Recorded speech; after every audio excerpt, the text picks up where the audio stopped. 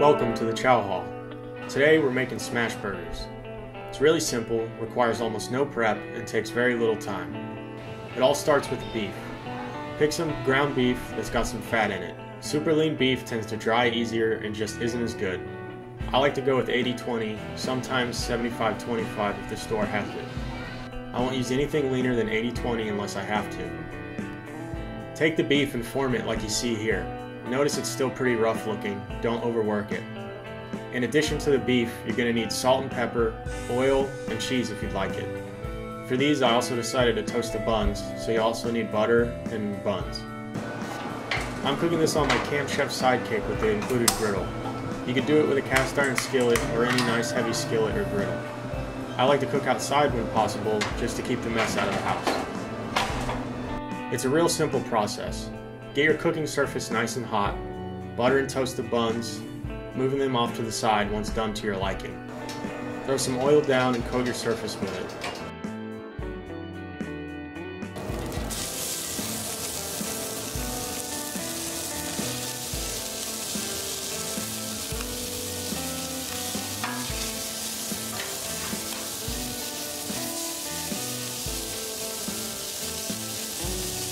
Throw a few patties down and smash.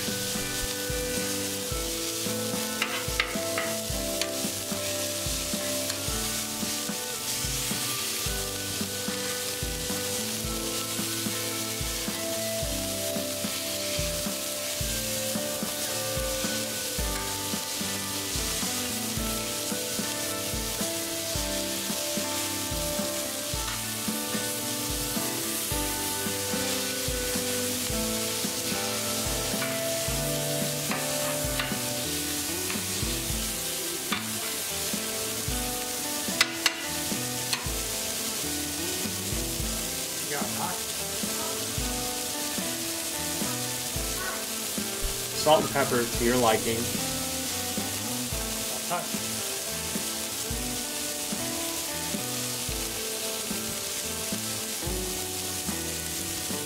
Let it go for about two to three minutes on the first side.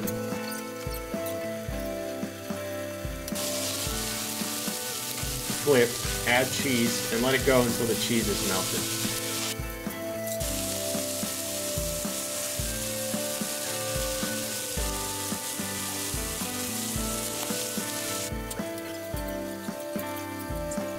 Pull and serve. It's that simple. I like to double them up. They remind me a lot of the burgers you might get at a place like Five Guys. Thanks for watching. Like and subscribe for more Chow Hall cooking.